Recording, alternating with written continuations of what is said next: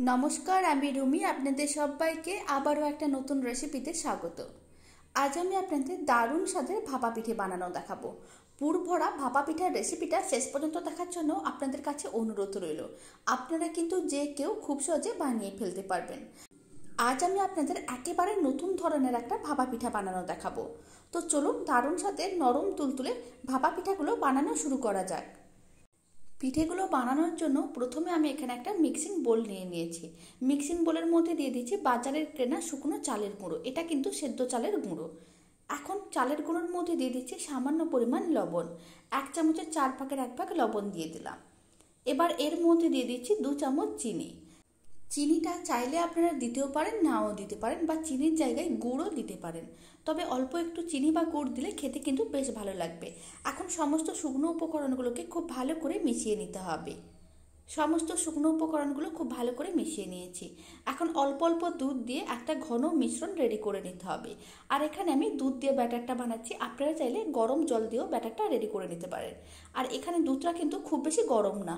উষ্ণ গরম দুধ দিয়ে আমি ব্যাটারটা রেডি করছি। এইভাবে অল্প অল্প দুধ দিয়ে খুব ভালো করে মিশিয়ে একটা মিডিয়াম ঘনত্বের ব্যাটার রেডি করে নিতে হবে। অল্প অল্প দুধ দিয়ে একটা ঘন মিশ্রণ বা মিডিয়াম ঘনত্বের মিশ্রণ আমি রেডি করে নিয়েছি। মিশ্রণটা কিন্তু খুব বেশি পাতলা বা একেবারে ঘন করা যাবে না। ঠিক এরকমই করে একটা মিডিয়াম ঘনত্বের ব্যাটার রেডি করে নিতে হবে। আর এখানে এক কাপ চালের গুঁড়োর জন্য দু কাপ দুধের প্রয়োজন পড়েছে। মিশ্রণটা রেডি হয়ে গেছে। এখন মিশ্রণটাকে এক সাইডে রেখে দিচ্ছি। এবার একটা কড়াইকে গ্যাসের ওপর বসিয়ে দিয়েছি। কড়াইয়ের মধ্যে দিয়ে দিচ্ছি এক বাটির মতন নারকেল কোড়া। এবার নারকেল কোড়ার মধ্যে দিয়ে দিচ্ছি একটা বড় সাইজের পাটালি গুড়। আপনারা এখানে যে কোনো ধরনের গুড় নিতে পারেন।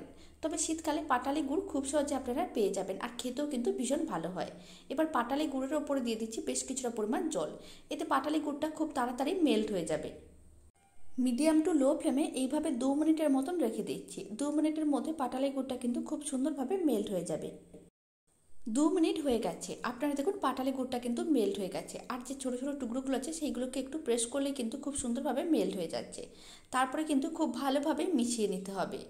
আর এই সময় ফ্লেমটা কিন্তু মিডিয়ামে করে দিলাম। এখন নারকেল কোড়া, পাটালি গুড়টা খুব ভালো করে একসঙ্গে মিশিয়ে নিতে হবে। তারপরে কন্টিনিউ নাড়াচাড়া করে নারকেলের পুরটা রেডি করে নিতে হবে। আপনারা এই সময় অল্প পরিমাণে গুঁড়ো দুধও দিতে পারেন, খেতে কিন্তু ভীষণ ভালো লাগবে। তবে আজকে আমি শুধু নারকেল কোড়া আর পাটালি গুড় দিয়ে পুরটা রেডি করছি। এইভাবে মিডিয়াম ফ্লেমে কন্টিনিউ তিন থেকে চার মিনিট খুব ভালো করে নাড়াচাড়াই করলে নারকেলের পুরটা কিন্তু শুকনো শুকনো হয়ে যাবে। এখন আমি আপনাদের দু মিনিট পরে দেখাচ্ছি। আপনারা দেখুন, মিশ্রণটা কিন্তু আগে থেকে একটু শুকনো হয়ে যাচ্ছে। এইভাবে আরও কন্টিনিউ দু থেকে তিন মিনিট নাড়াচাড়া করে মিশ্রণটাকে আরও বেশি শুকনো শুকনো করে নিচ্ছি। আবারও আমি আপনাদের তিন মিনিট পরে দেখাচ্ছি। আপনারা দেখুন, নারকেলের পুরটা কিন্তু একেবারেই রেডি বেশ শুকনো শুকনো হয়ে গেছে। ঠান্ডা হওয়ার পরে আরও বেশি শুকনো হয়ে যাবে। এখন ফ্লেমটা অফ করে এক সাইডে রেখে দিচ্ছি। পিঠে বানানোর জন্য যে মিশ্রণটা রেডি করে রেখেছিলাম, সেই মিশ্রণটির মধ্যে দিয়ে দিলাম হাফ চামচ বেকিং সোডা এখন বেকিং সোডাটাও কিন্তু খুব ভালো করে মিশিয়ে নিতে হবে। আর বেকিং সোডাটা খুব ভালো করে মিশিয়ে নেওয়ার পরে মিশ্রণটাকে এইভাবে দু মিনিটের মতন খুব ভালো করে ফেটিয়ে নেব। এতে পিঠেটা কিন্তু ভীষণ বেশি নরম তুলতুলে হবে আর খেতে কিন্তু বেশ ভালো লাগবে। এই পদ্ধতিতে একবার ভাবা পিঠার রেসিপিটা বাড়িতে বানিয়ে দেখতে পারেন। খেতে কিন্তু ভীষণ ভালো হয় আর বানানো তো একেবারে সহজ, আপনারা যে কেউ খুব সহজে বানিয়ে ফেলতে পারবেন। আপনার এখানে বেকিং সোডার জায়গায় ইনোও দিতে পারেন। হাফ চামচ ইনো দিয়ে দিলেও হয়ে যাবে।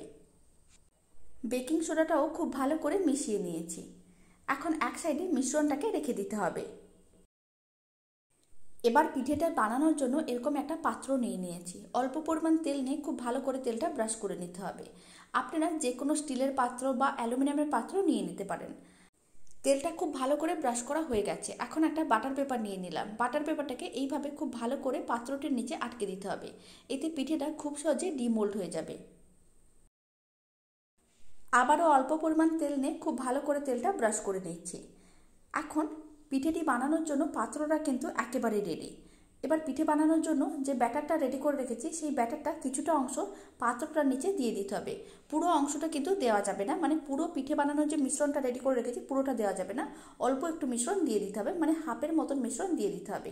আর এই সময় মিশ্রণটাকে খুব ভালো করে একবার ফেটিয়ে নিলাম। হাফ মিশ্রণ প্রথমে দিয়ে দিলাম। এখন পাত্রটিকে একটু ট্যাপ করে নিতে হবে, যাতে মিশ্রণটা নিচ পর্যন্ত খুব ভালোভাবে পৌঁছে যায় বা কোনো রকম হাওয়া যেন না থাকে। এবার আমি যে নারকেলের পুরটা রেডি করে রেখেছিলাম, সেই নারকেলের পুরটা ঠান্ডা করে গোল বলের মতন করে বানিয়ে তারপর একটু প্রেস করে চ্যাপটা করে নিয়েছিলাম। এখন সেই নারকেলের পুরটাকে এইভাবে মিশ্রণটির ওপরে রেখে দিতে হবে। এই সময় নারকেলের পুরটাকে ব্যাটারটির ওপরে খুব বেশি প্রেস করা যাবে না, খুব আস্তে করে এইভাবে রেখে দিতে হবে। তারপর অল্প অল্প মিশ্রণ এইভাবে ছড়িয়ে দিতে হবে। খুব বেশি করে যদি প্রেস করে নারকেলের পুরটা রাখা হয়, তাহলে নারকেলের পুরটা কিন্তু তলার দিকে চলে যেতে পারে পিঠেটা দেখতেও কিন্তু ভালো লাগবে না। অল্প পরিমাণ মিশ্রণ এইভাবে উপরে দিয়ে দিয়েছি। এখন পাত্রটিকে এক সাইডে রেখে দিচ্ছি। এখন পিঠেটা বানিয়ে নিতে হবে। পিঠেটি বানানোর জন্য কড়াইতে কিছুটা পরিমাণ জল নিয়ে পাঁচ মিনিট আগে থেকে মিডিয়াম ফ্লেমে জলটা কিন্তু খুব ভালো করে গরম করে নিয়েছি। এখন কড়াইয়ের মাঝখানে এরকমই একটা স্ট্যান্ড রেখে দিলাম। আর স্ট্যান্ডের ওপরে যে পিঠে বানানোর পাত্রটি রেডি করে রেখেছি, সেই পাত্রটাকে স্ট্যান্ডের ওপরে রেখে দিতে হবে। তারপরে কড়াইয়ের ঢাকনাটি বন্ধ করে দিচ্ছি। কড়াইয়ের ঢাকনা বন্ধ করে দিতে হবে আর আর কড়াই ঢাকনার মধ্যে ছোট্ট একটা যে ছিদ্র আছে, সেই ছিদ্রটাকেও একটা ছোট্ট কাগজের টুকরো দিয়ে বন্ধ করে দিতে হবে, যাতে ভেতরের হাওয়া বাইরে না বেরোতে পারে। এতে পিঠেটা খুব সুন্দরভাবে রেডি হবে। এখন মিডিয়াম ফ্লেমে এইভাবে পনেরো থেকে কুড়ি মিনিটের মতন রেখে দিতে হবে। পনেরো কুড়ি মিনিট এইভাবে রেখে দিলেই পিঠেটা কিন্তু খুব সুন্দরভাবে রেডি হয়ে যাবে। পনেরো কুড়ি মিনিট পরেই আমি আপনাদের দেখাচ্ছি। এখন আমি আপনাদের কুড়ি মিনিট পরে দেখাচ্ছি। এবার কড়াইয়ের ঢাকনাটা খুলে নিলাম। পিঠের ওপরের অংশটা একটু লাল হয়ে গেছে। পিঠেটি বানানোর সময় ফ্লেমটা যেহেতু মিডিয়ামে ছিল, আর কড়াইতে খুব বেশি কিন্তু জল দেওয়া ছিল না। তাই জলটি শুকনো হয়ে যাওয়ার কারণে পিঠের ওপরের অংশটা একটু লাল হয়ে গেছে। তাই এই ভাপা পিঠাটি বানানোর সময় দশ মিনিট পরে কড়াইয়ের ঢাকনা খুলে আবারও অল্প পরিমাণ জল দিয়ে দিতে হবে, তারপর আবারও ঢাকনা বন্ধ করে দশ মিনিট রেখে দিতে হবে। এবার পিঠের পাত্রটিকে বাইরে বের করে ঠান্ডা করে নিতে হবে। ঠান্ডা করে নিয়ে আমি আপনাদের দেখাচ্ছি।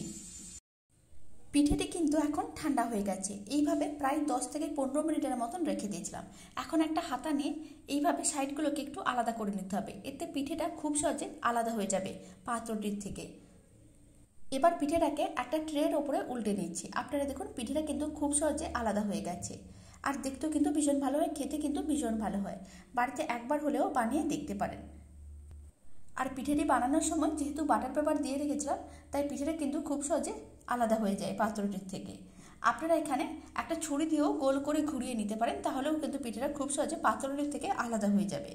এখন পিঠেটাকে আমি কেটে আপনাদের দেখাচ্ছি ভেতরটা কেমন হয়েছে। তার জন্য একটা ছুরি নিয়ে এইভাবে হাফ করে কেটে নেব আবারও একইভাবে উল্টো দিক দিয়ে হাফ করে কেটে নিতে হবে। এবার আমি আপনাদের পিঠের একটা অংশ তুলে দেখাচ্ছি। আপনারা দেখুন, পিঠেটা কত সুন্দরভাবে রেডি হয়েছে। আপনারাও কিন্তু যে কেউ খুব সুন্দরভাবে এই পিঠেটা রেডি করে নিতে পারবেন। আর এই নতুন পদ্ধতিতে একবার ভাপা পিঠার রেসিপিটা বাড়িতে বানিয়ে দেখতে পারেন। আপনারা কিন্তু যে কেউ খুব সহজে বানিয়ে ফেলতে পারবেন। আর পিঠের রেসিপিটা বাড়িতে বানালে কমেন্ট বক্সে জানাতে একেবারেই ভুলবেন না, খেয়ে আপনাদের কেমন লাগল। রেসিপিটা ভালো লাগলে চ্যানেলটি সাবস্ক্রাইব করে নেওয়ার অনুরোধ রইল। পাশে থাকা বেল প্রেস করে নেবেন নতুন রেসিপিটা আপনি সবার আগে পাওয়ার জন্য। ভাপা পিঠের রেসিপিটা শেষ পর্যন্ত দেখার জন্য আপনাদের অসংখ্য ধন্যবাদ। আপনারা সবাই ভালো থাকবেন, সুস্থ থাকবেন। আপনাদের সঙ্গে আবার নতুন রেসিপি নিয়ে দেখা হচ্ছে।